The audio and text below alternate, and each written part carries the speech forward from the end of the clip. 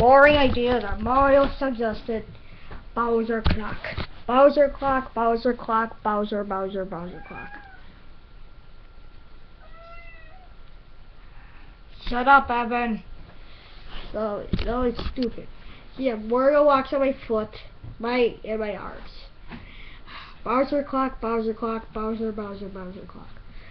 Stupider. It's it's hor more. It's horrible. I love Bowser G's better.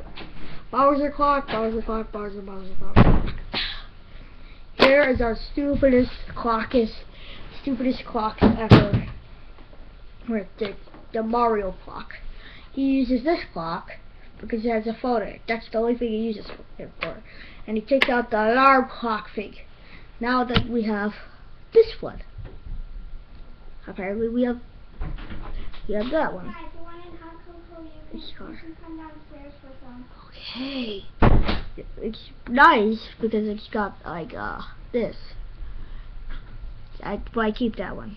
Okay, so it's pretty it's pretty nice. Then we have this one. It's pretty neat and I'll forget. And then we have this last one. On my foot. It's analog only. Yeah, Ah, stupid.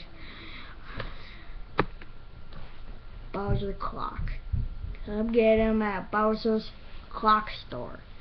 Bah, bah, bah.